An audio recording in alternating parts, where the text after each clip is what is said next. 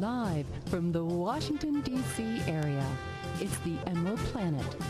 All the ecology news that our viewers want to know. Now, here's your host, Executive Director of the Emerald Planet, Dr. Sam Lee Hancock. Hello, I'm Dr. Sam Hancock of Emerald Planet, Emerald Planet TV, as we come to you on a week to week basis from Washington, D.C. and the United States, as we look around the globe in 144 different nations, looking for those thousand best practices, technologies, services, and products as we move through the 21st century.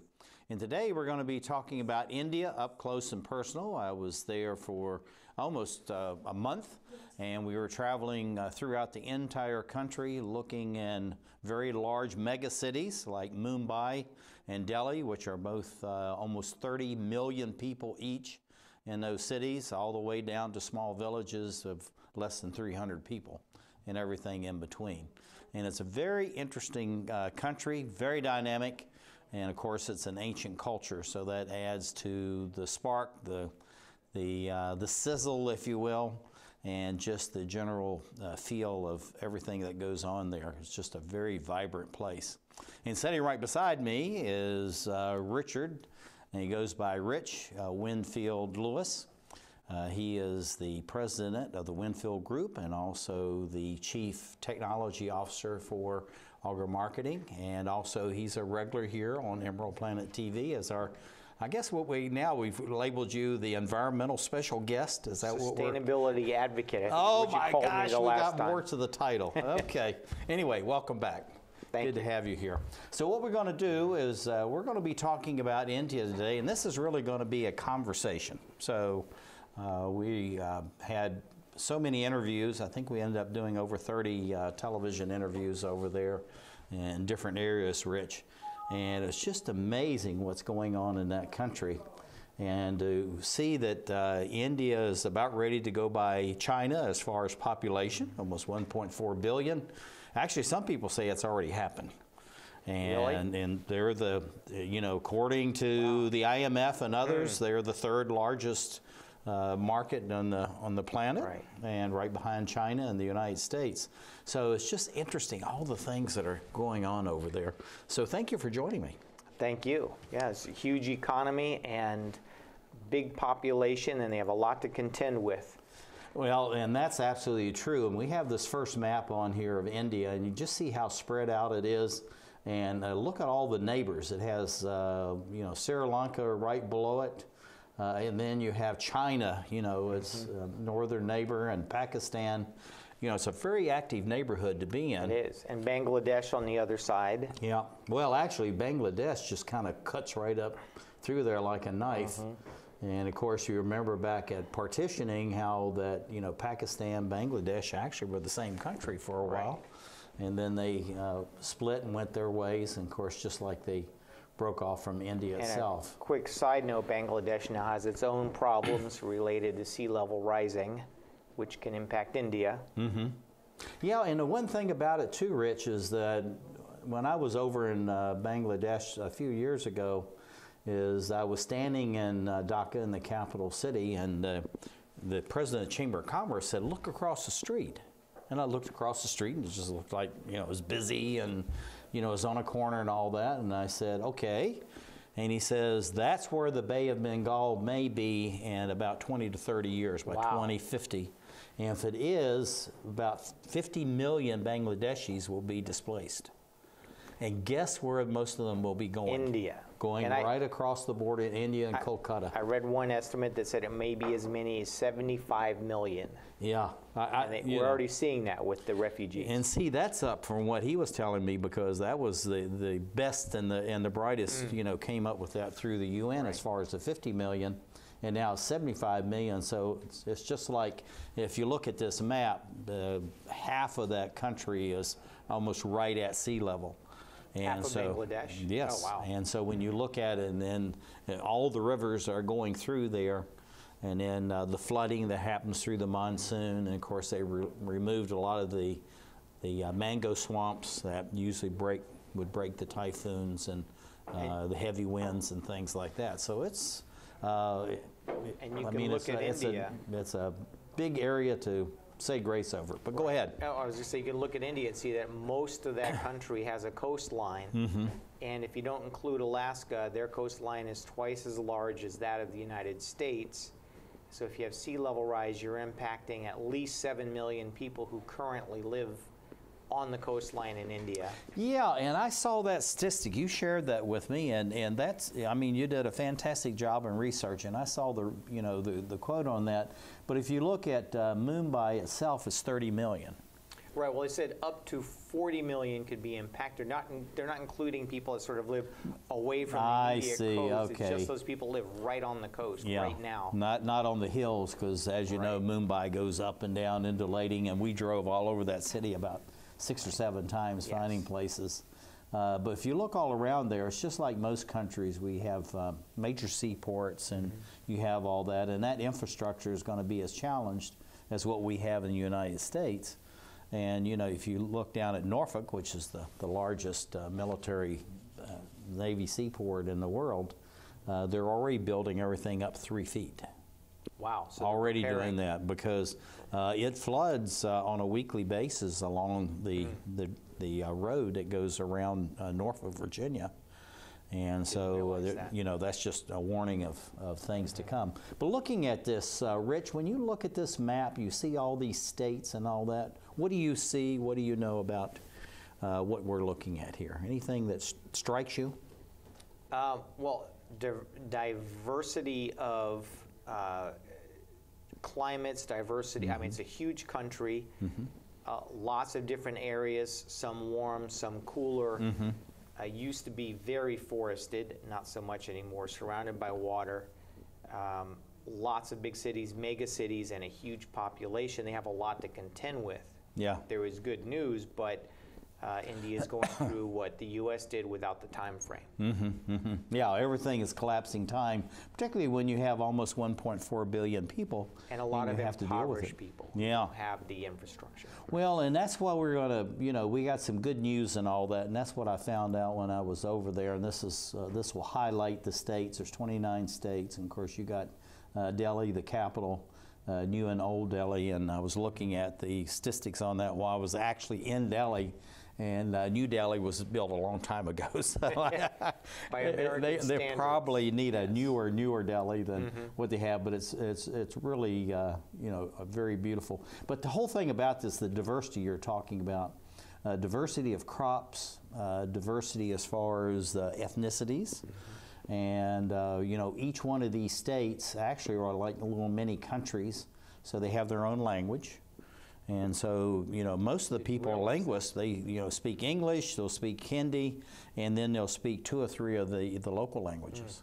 And each one of those uh, has a, a local language. And uh, so it's just, the diversity is just incredible. And uh, going from Delhi, you know, again, 30 million, Mumbai, 30 million, and then going out into the area in Rajasthan because we were in the high desert plains. I was about to ask you, where were you on your three-week trip? Well, when you when you look at this, and it was almost uh, almost four weeks. Uh, if I had a mark uh, pointer, that would be great. But anyway, we were in virtually the whole center of the country. So we were in uh, some of the uh, the largest states in there, and then also some of the smaller ones like Haryana. Spent a lot of time there with the uh, the Sehgal Foundation. Uh, they're doing really good work. Uh, they have 300,000 uh, farmers and 300 villages that they're working with. And then we're in Baramati, which is in Maharashtra state, which is one of the most populous but also one of the higher income areas. That's where Mumbai sits. And um, you can you can see everything there. But the one thing I noticed is the we were at the agricultural demonstrations and expo in Baramati, and just how prosperous the farmers look. You hear about how poor the farmers are and Yeah. they're stressed and the high suicide rates and all that. Right. Uh, we were there 350,000 farmers that came to that event in four days. I mean, it was just like a sea of people just washing over you. So I stood out in the middle of the, the main street right next to uh, where we had our uh, small booth set up. And people, it was just like, I mean, literally, it's just like a, a- an ocean just flowing by you. and it just went for four days. You're right about the images. The only images I've seen on American press are impoverished people, and they talk about the problems, never about the huge growing middle class and the Well, wealthy. the interesting thing about India, and we're going to leave this map up here because uh, we've just about gone through this, but I think it's uh, of interest. They have 375 million true middle class. Well, guess what? That's more than the whole population of the United States as a middle class. So you've got real buying power. And then the farmers, which are about 500 million of that 1. Point, uh, say 4 billion people, uh, Modi, who is uh, you know in charge of that country now, wants to double their income by 2022, That's ambitious. and they are working at it. I mean, they are really working at it, and it's just interesting to see it. But this is some of the statistics, and we can just throw this up here because. Uh, uh, you were a great guy and came up with it. But when you look at the growth rate, Rich, just tell us about that comparison with China and the United States. Well, it's, it's growing rapidly, supposed to surpass uh, China as far as population by 2028, according to the UN. But Mm-hmm. like you said, different estimates, and it's very hard to calculate. Yeah. Um, the economy is one of the strongest in the world. Mm-hmm. I think sixth largest by GDP, but also third largest as far as buying power. Yeah. And I'm assuming that's China and America ahead of India. Yeah. Well, uh, actually, you're looking at China now. They're saying, predicting that's going to be down, you know, in the, the low sixes. And uh, that's a real problem, you know, because with their population, even though they're not growing, I mean, China has the fastest aging population on the planet, even more so than Japan. Uh, and India is a very young population uh, comparison. But when you go there and you see these 375 million middle class, you know, meet people there, they're just like most families, just like what Mexico went through. They had- six and a half children as, as family size. Now they're down to 2.3, and that's in 30 years. Well, the Indians are going to, you know, be faster at that Right. because they're traveling more. I mean, when you go to the airports, uh, I was there uh, about eight years ago, back now. They started, had brand new airports, a year old, most of them, and they were tripling the size. Wow. Tripling the size, not doubling, tripling the, size. Yeah, the economic growth in India is pretty impressive. It's at, what was it? Uh, no, Oh, it's al- you mean economic growth? Yeah, it's in. the- 6%? No, it's seven. Oh, yeah, it's almost uh, seven three, seven five, something like and that. America's at 4%, Yeah. and China has dropped to the Yeah. 6%. That's what it was. Yeah, right? and the whole thing about this too, if you could find out the money and all those small shops they have, I mean, they have millions of these small businesses. So it's it's a country of small business really, and they have some really some of the largest corporations on the planet. It's just the diversity is incredible.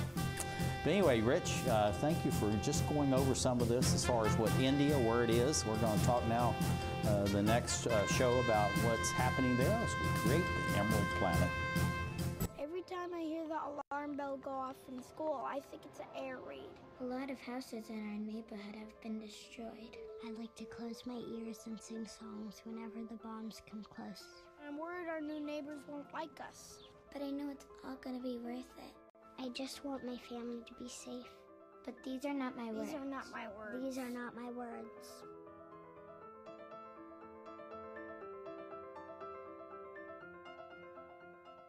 One day these rats were playing in the woods. Wanted some matches and that's no good. Listen to smoke before you give it a try. Only you. Don't play with matches. Don't play with fire. Fire.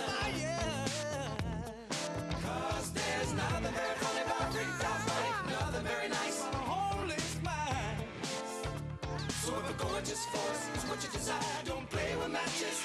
Don't play with fire. Yeah. Only you can prevent wildfires. Fire. How far would you go to protect the planet? I want you to build an ark. Here we go. Okay, that's good. Oh, okay. Ow! Maybe there's another way. People, the flood is imminent! Is it too much to ask for a little precipitation?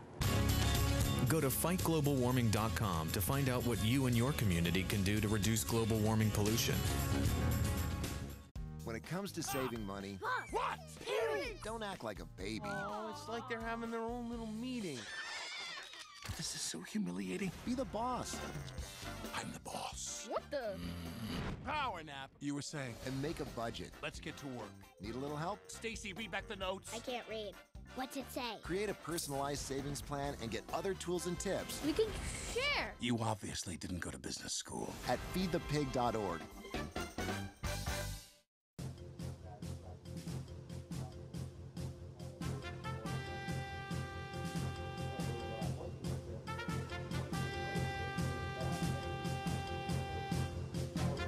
We're back to the Emerald Planet. Here again, your host, Dr. Sam. Hello, I'm Dr. Sam Hancock of Emerald Planet, Emerald Planet TV, and we're looking at those thousand best practices, the technology, services, products, and the processes that are making a difference as we move through the 21st century. And I was just in the country of uh, India for almost one month, traveling from you know one of the two largest mega cities. One is Mumbai, which goes by actually goes by Bombay more now than I've ever heard in the last 20 or 30 years. And then, of course, Delhi, which is the new and old city, and uh, just absolutely dynamic. And both of these are just almost like a heartbeat. You just feel it with all these people around you. And even though you're there, you're constantly around people. Still, it seems like there's there's space for you and it's just a very interesting dynamic. Uh, this is Richard Lewis. He goes by the name of Rich. He's on Emerald Planet TV on a regular basis. Helps us as uh, now he's got, he's adding more titles to himself with sustainability guru and and uh, environmental special guest. And also, he has his own organization, the Winfield Group. He's the president of that, and also chief technology officer as far as our marketing and on Emerald Planet TV. What better way to do that? But what we're going to do is we're talking about the country of India, which I was uh, sharing about that just a few seconds ago, Rich. And we talked about where it was, the map, and all those kinds of things. But now we're going to talk about some of the uh, challenges they have over there. And we have this image of a, you know, a burning, uh, open uh, garbage pit, actually. And this, even though when you get there, you don't really see this, this is actually going on. Mm-hmm. And when you travel through the country, you really do see it, particularly when you get out in some of their smaller communities and talk about that. But this is the list that uh, you and I have been uh, chatting about, all the things that we have here. And the interesting thing about this, Rich, is you got, you know, the air pollution, you know, management of poor management of waste, growing water scarcity, all these things. I mean, all these are 100% true. Uh, but what, you know, through the 50 different communities I traveled in uh, some of these very large agricultural demonstrations and the expos, I mean, they're just absolutely embracing all these and trying to do something about it. And that's what was really interesting about being over there and in that society because uh, they realize that, you know, they're choking themselves to death with all these cars. Right. Uh, we're going to see a scene of that. And, and I was in it on a day to day basis. I mean, you would be at a stoplight and you'd be there, let's say you're one or two deep in the line, and by the time the light got ready to change, there would be maybe 10 vehicles in front of you. And these are cars, trucks, Right. uh, mopeds, motorcycles.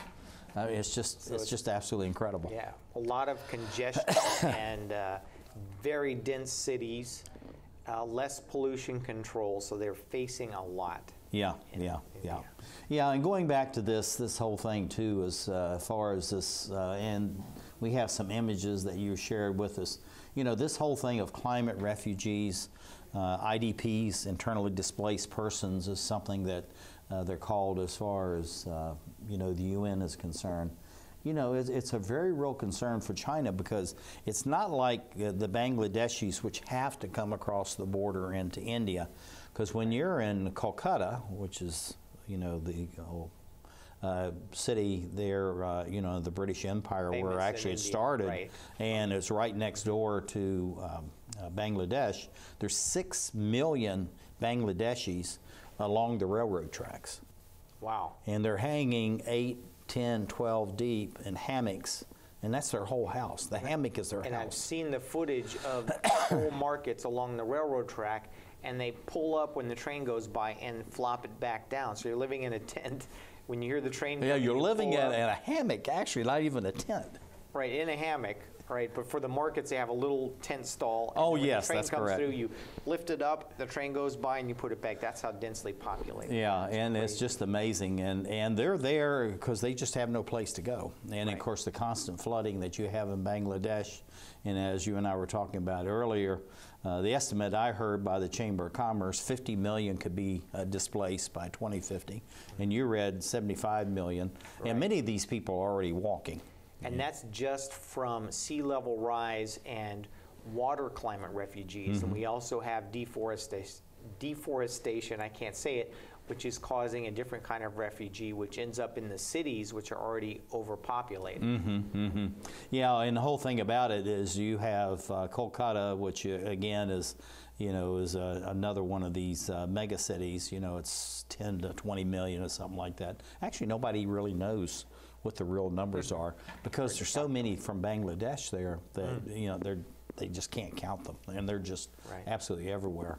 But looking at the climate change we have on that and the sea level rise you're talking about, you know, it's just some of these numbers. It's just like you were talking about earlier, the seven million are going displaced by sea level rise. You know, I think that number is grossly understated. When you're in these these cities mm-hmm. and you see these areas, and you know, you're looking out the ocean, and it's actually, you know, on a calm day, it may be one or two feet below. You realize that, uh, you And know, you there's a, a sea of people yeah. up until the ocean. So, yeah, one of the estimates said there was 40 million people that would be impacted. Yeah, yeah, and this is, the, more and like- you have this number here, the one you talked about, your consists 75 million, and uh, this is, you know, kind of the best uh, guesstimates. Uh, but then you look at India as far as the fifth largest uh, emitter of emissions because they have so many huge coal-fired plants there, Right. and it's a very low-grade coal, so it's actually smoking. But the one thing I learned while I was there, it's not just the coal-fired fired power plants; it's all the brick kilns because they make uh, many Oh, or most of their homes out of brick. uh-huh. Oh yeah, and what they're doing is taking the lowest grade coal, and they put them in, you know, into these kilns. And so when you're driving down the highway, I saw ten of these oh, together. Oh, wow. And then what you have is that you have this huge curling black smoke going off, and it's going literally into the horizon. Wow. And that's one of them. That's just one, And then you right. got another one that's doing the very same thing. And so when you get there, you realize that we, you know, keep blaming everything on power plants, but there's a whole lot of other things that are going on. Plus, you know, just the hundreds of millions of the of the vehicles they have. But this is one of the issues. In this area, this looks like what I drove across almost for four weeks. I was about to ask you if you had seen that because when I was there a long time ago, I didn't see any land degradation or deforestation. I saw the poverty Mm-hmm. and some of the pollution, but not that. Yeah, yeah. This, the, if you're looking at, because we were traveling through uh, Rajasthan, uh, the western part of Maharashtra uh, state, uh, Haryana, and uh, we we're in Chhattisgarh, uh, which is actually a new name for a state that was uh, divided recently. So you have all these states, and, and it's just like no matter where you go, it's like you're on a high desert plain. Oh, wow. And it doesn't mean you're that high above sea level. It's just the fact it's just bloody dry. And the water table in some cases is, you know, it's hundreds of feet, sometimes it's thousands of feet below the surface. And so we're going to talk about the solutions to all this. We're putting these up here as far as what's going on. But one of the main things, this land degradation, is that we saw uh, through the agricultural displays and expos. I mean, it was almost like a mantra. The farmers would come and see you, and you talk about the issues and all that. It's just uh, soil fertility and the low quality of the soil. Right. And so this whole thing of how do we enhance the soil, how do we reduce chemical fertilizers and pesticides?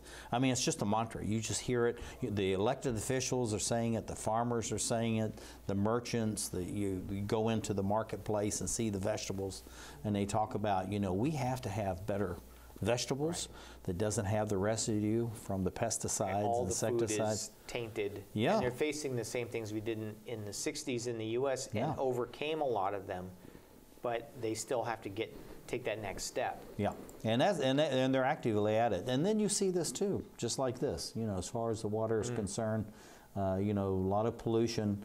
Uh, you see a lot of the towns where they, uh, you know, there's there's no drainage system and all that. So the street, uh, So uh, the field, the the shop, everything is just in one you know mass area. Uh, but everywhere you go, you just see construction going on. You know, And just- toxic waste and, yeah, right. yeah. all that. And then, uh, you know, freshwater resources, we've talked about that. But, you know, that's a real thing. Even when you go to the schools now, mandatory, they teach them how to wash their hands. You know, this whole thing of soap and Great. water and all that. And uh, it's, uh, you know, it's just what's needed. But this is the, one of the real issues, deforestation. And this is something you said that, you know, when you were there years ago, you didn't see it. Uh, but now you see it everywhere. Wow. And uh, this is happening whether it's in the jungle areas, up towards the Himalayas. Such a green, you know, or I remember it as being very green and forested.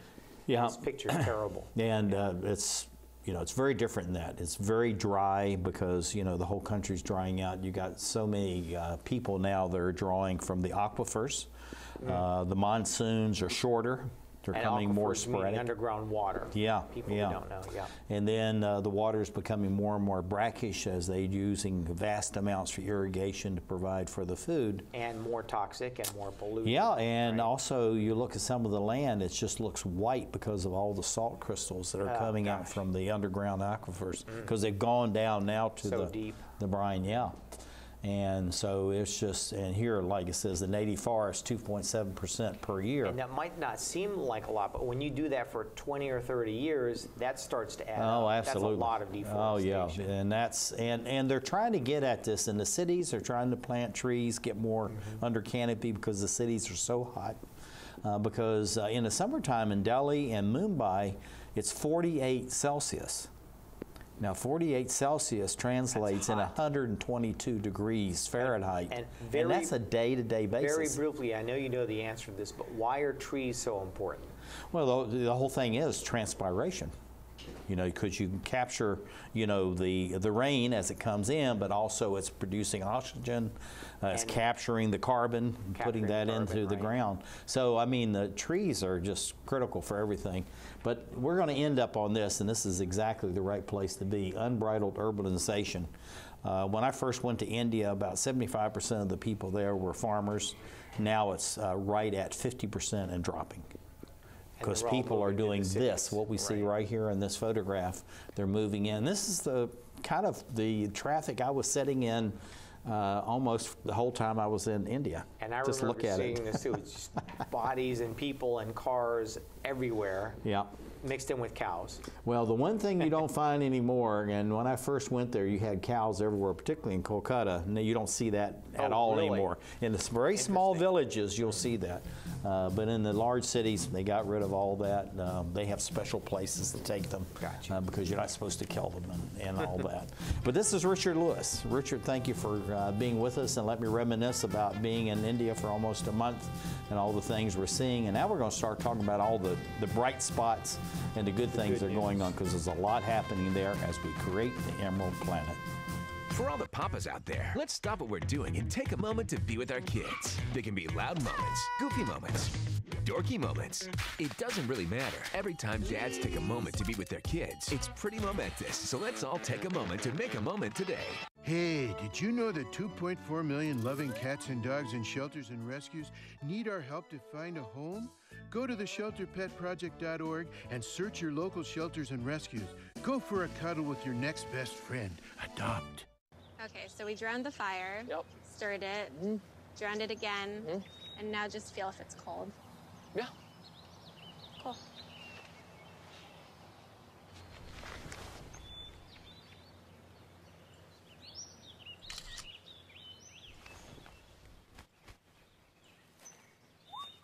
Smokey just gave me a bear hug.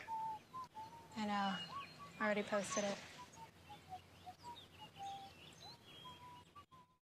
We cannot be bystanders. We can stop to make sure someone is okay. We can warn someone when their drink isn't safe. and disrupt the situation. We can. Get someone the cab. Or walk them home safely. We can make campuses safer for our friends, our roommates, our, classmates, our, fellow human beings. We cannot be bystanders. We can intervene. It's on us. All of us. Learn how and take the pledge at itsonus.org. When it comes to saving money, What? don't act like a baby. Oh, it's like they're having their own little meeting. This is so humiliating. Be the boss. I'm the boss. What the? Mm. Power nap. You were saying? And make a budget. Let's get to work. Need a little help? Stacy, read back the notes. I can't read. What's it say? Create a personalized savings plan and get other tools and tips We can share. You obviously didn't go to business school. at feedthepig.org.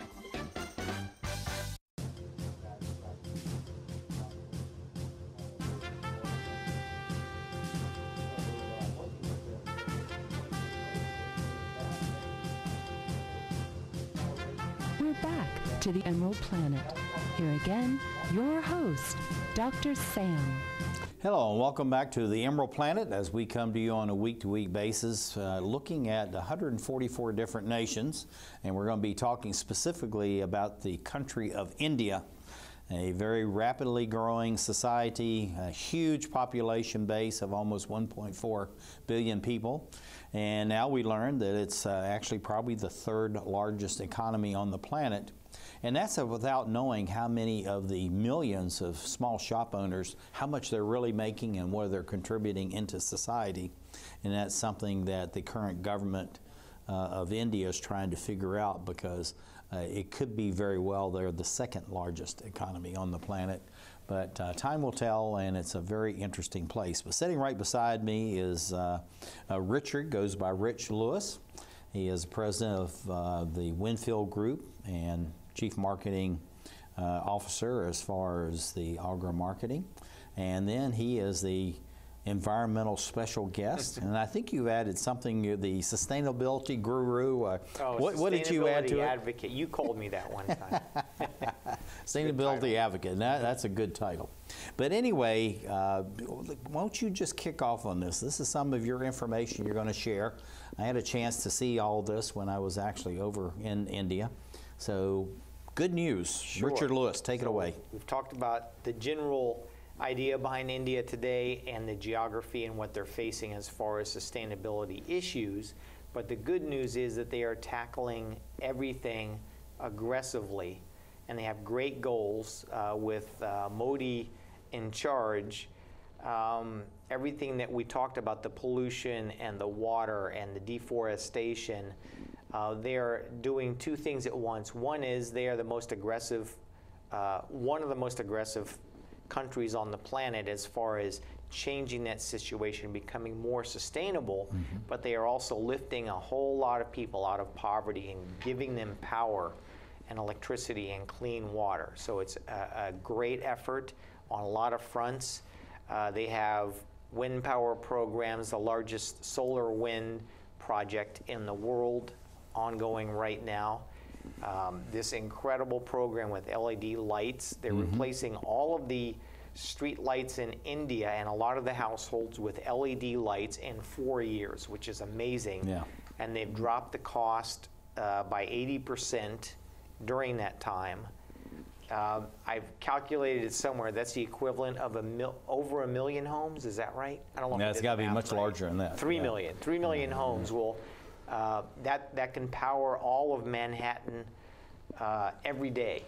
That's just crazy. The the amount of power they're saving. They're the going to be saving as far as LED lights, and that's very, very important. So, and and the whole thing about that, you know, everything that they're doing over there is just, uh, you know, trying to do better and do it faster. But that's why you were there. So Mm-hmm. what did you see when you were there in India for almost four weeks? Yeah, well, the thing, everything you're talking about, let me get over to one of these images. This is one of the things here. This is all about forestation.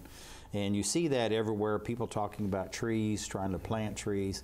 But also, just like uh, the trees, they're putting gardens absolutely everywhere. So all the schools now are coming up with their own gardens. Fantastic. Uh, they're producing food uh, for the school itself. And they're actually trying to get it so that they can actually produce even more than enough they can sell in the local markets to start earning income uh, for the schools. But the school children, you see these green outfits, they have the green and white. Uh, this is something that you just see, you know, everywhere as far So as that's the. very intentional. I didn't realize that. Oh yeah, yeah. It's just. I mean, they're just. uh, It's amazing what they're doing as a society. I mean, it's the world's largest democracy. It's a very noisy place. Uh, I mean, they're, you know, in some ways, uh, you know, they're very quiet and serene. Others are very loud and boisterous. Uh, so it's a noisy democracy. But at the same time, they're very purposeful. And so it's just, it's a, it's a fun, fun time to be there.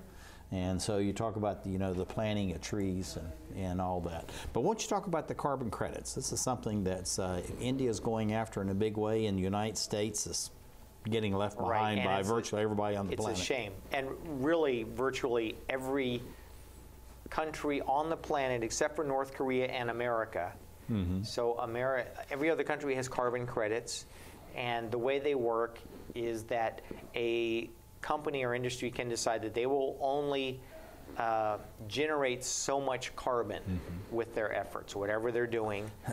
if they go over, then they have to buy more carbon credit from a different company, a company that is a good steward and only produces X number of carbon, which is less than their uh, quota, can then sell that to another company which did not do as well. So you have very strong economic incentives, and this is by country, by industry, by company.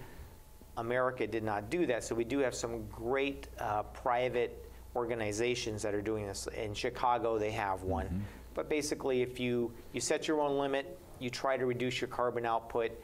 If you don't meet that limit, if you start going over, you have to buy more credit from a different country, Right. company, sorry, that performed better as far as carbon output. Mhm. Yeah, and you can actually buy it, you know, for as far as the uh, countries uh, as well, because you know many people here in the United States they want to reduce their carbon footprint, or they want to do the carbon credits, so they're planting trees in Brazil, or they're planting trees in Bhutan, or you know, country of India, and, and all that, and that's. This will give you a little bit of the, the good news as far as uh, you know the carbon credits are concerned. Uh, but one of the things that uh, Washington D.C., right where we are, Rich, is they have a actually for a uh, stewardship of stormwater retention, and they have stormwater retention credits didn't that you can buy in that. So this is something that is unique to Washington D.C. and it's actually being looked at by you know, communities all over the United States and around the world. But going back to this carbon credits, this is something that they're doing. It's an open democracy, and uh, they're in some ways as much or more free market than the United States is, particularly in this, you know, to meet the the uh, Right. the uh, Paris protocols as far as uh, limiting uh, climate change. So it's something that's that's very very important. Uh, UNESCO's, what are these? Right. These are great, and India is the pioneer, um, promotes them more than anybody else, and utilizes them. They're companies that were formed specifically to make a profit by saving money on clean energy, by saving consumer money on clean energy. So if you lower the cost of clean energy, uh, you earn a profit. And they popped up all over India. Some of them are huge, and they're doing an incredible job. The, the one that we're showcasing for this show, I forgot the name of it specifically, but they are the ones that have reduced the price of LED lighting by 80% in a few mm-hmm. years, and they are also helping to implement the change from traditional lighting to LED lighting all around the country and every single street light in India. It's a huge project. They're on track. The goal is to be done in four years. Yeah, and also too, you can put uh, LEDs as far as stoplights are concerned, so you're using much less uh, power there. And then also too, they're trying to have more and more of the stoplights, the street lights, all that, to have their own uh, solar collectors and power that. So the thing of having LED is that you're actually making, you know, the drawdown of the power. In other words, instead of having incandescent lights, or just like the studio, this studio was all incandescent lights, and this had to be chilled in order to make it habitable. You know, when you're doing the TV program. Now it's LED. It's very comfortable. It is comfortable. And I'm it not can sweating. actually be a little Right. bit cool at the same time. But uh, having these energy efficient companies, this is. Go ahead. Can I mention one more thing about You the can LEDs? mention whatever you want. At Go the ahead. same time in India that they're rolling out the LEDs, they are also rolling out electricity to places that never had it before and implementing the LED lights all at the same time. They say it's a mixed economy because they have a traditional Western economy like America, but they're also lifting all of these people out of poverty and giving them power and clean water. Yeah, yeah. And uh, lifting people out of poverty uh, goes back to those 500 million plus uh, farmers they're talking about and giving them a livable, livable wage. And what they're doing there is that they uh, they're going organic as fast as they can go. Wow. And this is, you know, the farmers across the country. Uh, they're also doing, uh, you know, very intervention ways as far as drip irrigation, uh, even using it for sugarcane now instead Wow. of flooding. Neat. And uh, then with the, the vegetables and, and trees and all that. So it's just an amazing country what they're doing and how they're just embracing new technologies. I mean, you've got farmers there in the fields with oxen plowing, and they're talking about drip irrigation. Right, which is amazing. You can drip irrigation only saves water, but it also can use unpotable water, like dirty water, for the Mhm, drip yeah, irrigation yeah, because plants water. don't care. Yeah, yeah, and the whole thing about too is what they're doing is that they're they're limiting the amount of fertilizer because it's going through the drip irrigation. So it's putting you know a minute amount of fertilizer to that plant, and it's uh, predetermined how much it's going to get. And also with precision agriculture, which they're now also doing with satellites, they can fly, you know, sweep over the land, tell you, okay, you need potash here, you need more nitrogen over there, you need phosphorus somewhere else.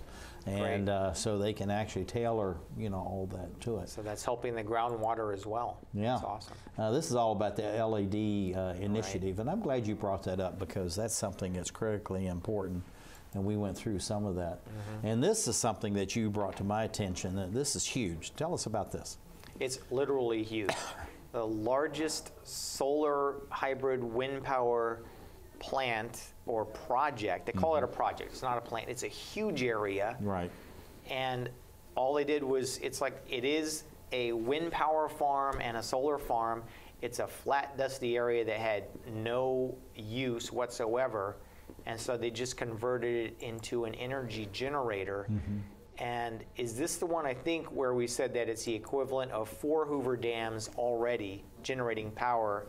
And that's the 3 million homes, I believe, if my math is right. Yeah. And it's not even finished, and they're already powering the equivalent of 3 million homes. Mm-hmm. And Yeah. it's, it's incredible that they're putting this, this much effort into it, and it's successful. I don't have, I don't have enough good things to say about it. Yeah, and what I like about this, and we're just about running out of time, but if you look at this photograph with all these solar panels, this the land that you see behind this, this is exactly what I was driving across almost for 24 days. In every direction, we were going north, south, east, west. And, uh, and this is about what you were seeing on a regular basis because, you know, it's just so dry. Now, they do have jungles, and uh, you go up to Himalayas, they got glaciers, and they have all Mm. these other kinds of things. But the interior of India looks a lot, you know, this, this color of this Right. brown soil that we, we have there. But anyway, Rich, thank you for sharing this information with us, and thank you for being on the Emerald Planet TV. This is Richard Lewis, and he's the Winfield Group and also Augur Marketing, a good friend of Emerald Planet. Uh, he comes on with us with a regular basis, and we'll call him the environmental special guest. And it's always good to have you with us. Thank you. And thank you for being with us as we look at the country of India, the good things that are going on there as we create the Emerald Planet. Too many women get hit by their boyfriends and husbands. Too many women are pressured into having unprotected sex. Half of the people in the world living with AIDS are women. It doesn't have to be this way. Together, we can change this reality. Let's strive for a world free of violence.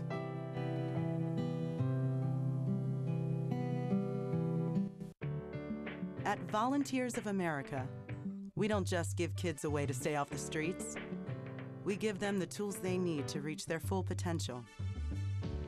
We don't just help the elderly receive needed care, we help them live life to the fullest. We don't just provide food for homeless individuals and families. We provide job training and placement so they can buy groceries.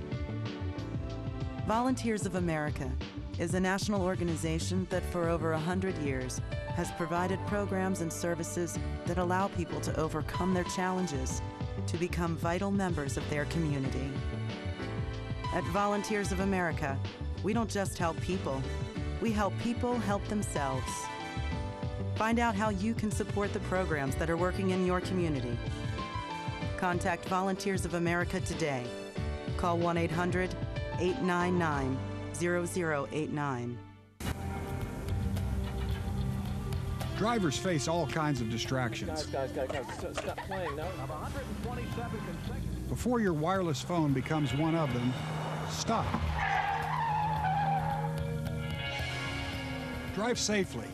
Keep your phone in easy reach and dial sensibly. In bad weather or traffic, call later and use a hands-free device. Remember, with wireless, safety is your call.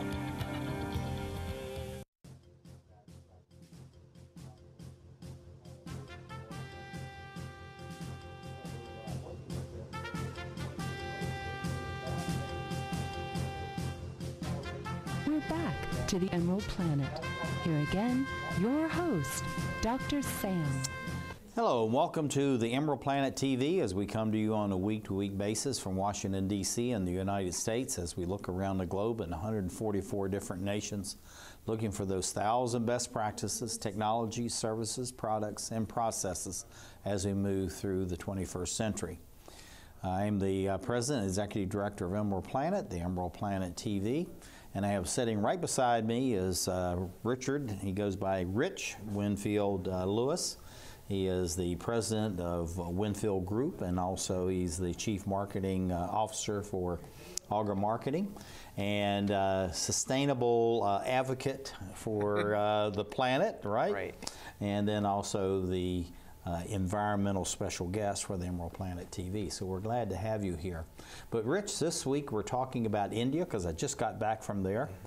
Uh, 24 days in country. Uh, I met uh, I don't know how many thousands of people because I was at uh, some of these uh, national and international agricultural demonstration days, as they call them. Some of them were four days, some were five days.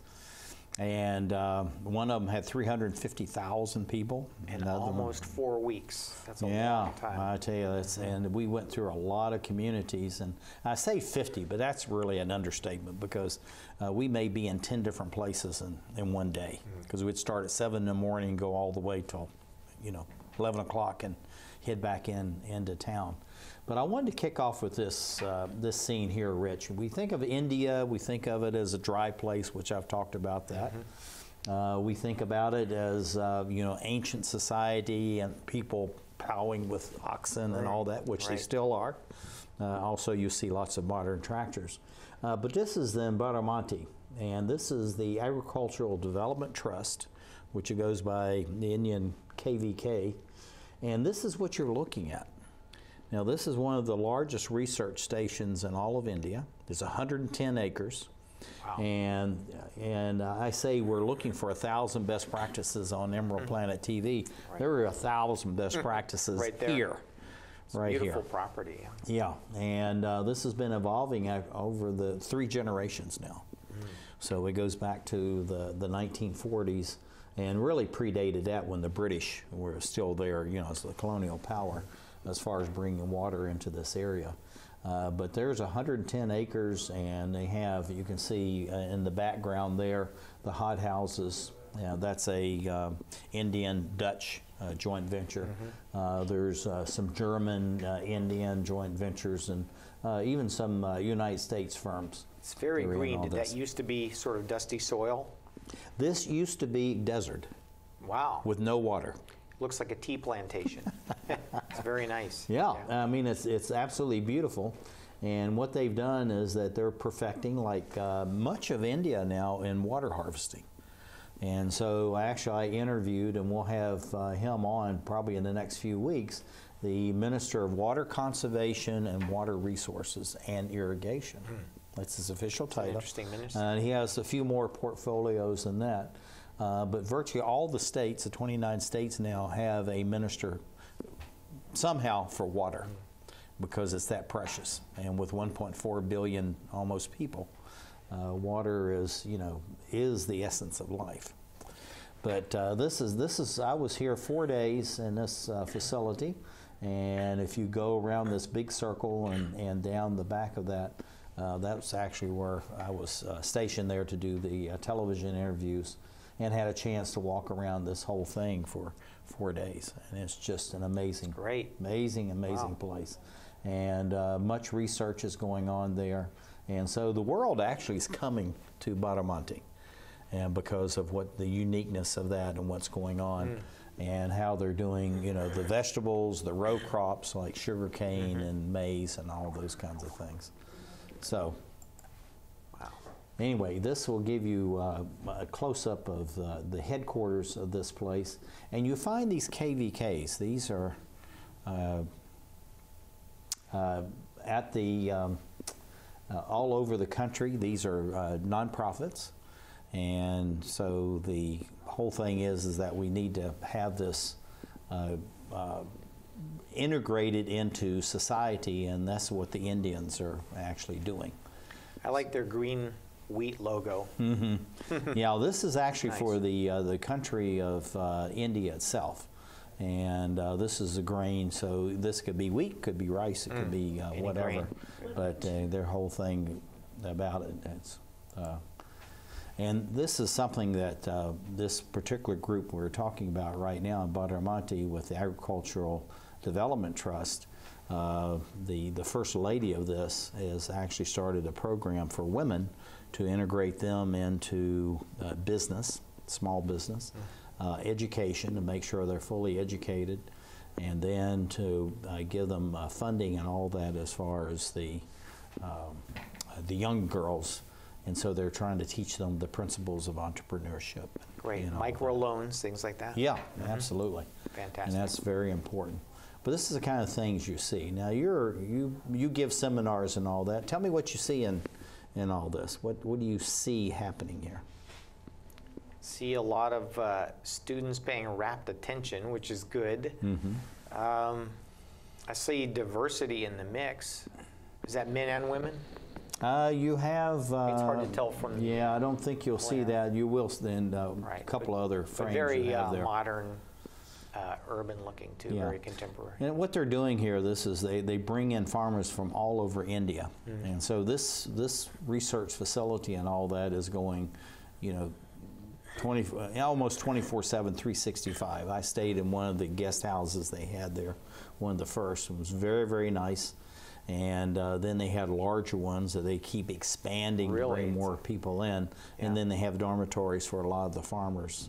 It's a uh, well-attended class, yeah. Yeah, well, I mean, they uh, you have to uh, get on a waiting list, you know, to get into this. Oh, wow. So, and a lot of this too, if you're looking at like the bottom two pictures, a lot of this are what's called train the trainer.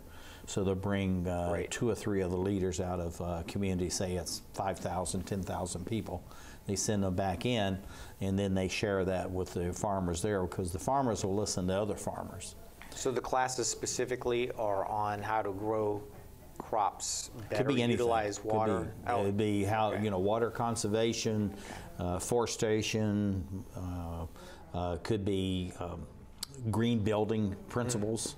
I mean anything that's going to impact the farmer. So you know it goes from you know house to the fields to the barns to the the cattle and and all that. And very modern facilities. And of course, when you go out to the farm, some of these are just like you're step back a thousand years. Right. But at the same time, you know, they're doing very modern things. And this will give you an idea of uh, what you see as far as these hot, hot houses are concerned. So, you know, they have tomatoes and they have, you know, all kinds of peppers and capsicum. How large are those, the tubes? Are those small? Uh, these are actually very small because there's no earth, there's Oh. hard to no dirt in the, there. uh, yeah, no dirt in that. It's but a neat the, idea. Uh, but the, the- as far as these, uh, you know, the growth bags that they have there, this is Mm-hmm. one of the gentlemen that we actually interviewed. And what they do is they put this over the plants. They grow like three times larger than ones that are just exposed to the normal outside uh, air and all that. Uh, it's all drip irrigation. Mm-hmm. They control the fertilizer, so they're reducing greatly the amount of chemicals that are going into the plants because they want to uh, reduce the amount of the uh, insecticides, pesticides, the residue as far as you know the, the plants themselves. And That's the, great. This is like 4-H produce. with sustainability. is that Very- you? Uh, yes, Yeah. this is one of the interviews because uh, we're doing a lot of uh, television interviews. Uh, this young man is a PhD uh, standing in front of me, and he and the gentleman around him, they're all farmers. And they're well educated. And you can see how they're dressed. They're very nicely dressed, uh, very well meaning and purposeful. Uh, but they, they have started their own social media platform. And so they're now, I think they're at uh, 50,000 and growing, you know, by thousands, you know, on a month-to-month basis. And this is only for farmers. And they're getting it out, so they're talking about uh, financing, markets, uh, how to grow, how to conserve water. I mean, water just keeps coming up over and over. And then right behind me, over, uh, you know, behind me, are you see more of those growth bags we're talking about. Yeah. And it's just amazing how the difference it makes as far as uh, what's going on. And then getting back to uh, the women, you can see these sewing machines. Uh, and what they're doing is that they're not just uh, dealing with the, the male farmers. And what we found is that there's actually more and more women that are becoming farmers themselves. Which Oh, they're is, farmers, Yeah, yeah. they're, they're farmers themselves. And uh, they're doing it uh, on their own which is you know a, a total switch from you know what you think about over there. But they also want the, the women in these villages to have more uh, opportunities to earn their own income. And I'm assuming these are the pedal-powered Yes, sewing machines? yes, Not yeah. electric, yeah. Yeah, yeah. Uh, because a lot of the, even though you see electrification, I mean, you're in a village, Mm-hmm. the, actually the power lines are going over top of your head. It doesn't mean they're hooked in. no power. and and they also have you know certain hours of the day. So you may have power for three hours in the morning, three hours in the afternoon or evening, and then you have two or three hours where they've actually switched, turned it, and giving it to another community. And so uh, because of just the tremendous demand for energy, uh, it's You- being rationed. It, I understand it, but regardless of that, it's very environmentally friendly to have Mhm. foot-powered sewing machines. Yeah. We yeah. should do more of that. Absolutely. And uh, these are some of the experimental gardens they have there is how do you grow this uh, bigger, better, faster, more nutritious with far less uh, chemicals Is that being used. Part of left? it, yeah. Yeah, there's uh, Those are large corn, stalks. yes. Well, and uh, what you find is that uh, much of the vegetables, you know, what we consider a head of cauliflower here, maybe this big, you know, what they are looking for is maybe two to three Mm. times the size of that. Uh, Wow. You know, watermelons, you know, just huge, and cantaloupes, and uh, and the tomatoes, and uh, again, this all come out in some of the future um, television programs we're going to broadcast. And this is how to grow, you know, more fruit and to reduce. again, Everything is reduce the use of chemicals of all kinds, reduce the amount of water, and increase productivity, and increase the uh, the value of the crops. So it's just uh, amazing what they're they're doing over there, and this is just going on day in and day out. And this is the areas where they're doing the uh, water harvesting, uh, putting in a check dam, and then they put the have these underground wells that they're just filling with water whenever they get Wow. rains because Nice. it may rain for two or three months and you don't get it for the you know next nine months. Fantastic. So Richard Lewis, thank you for being with us on Thank the Emerald Planet. TV. Thank you for uh, coming up with some of this information and uh, the slides that you're willing to share with us. And thank you, dear viewers, for being with us as we're looking around the globe, along with Richard Lewis, as we create the Emerald Planet.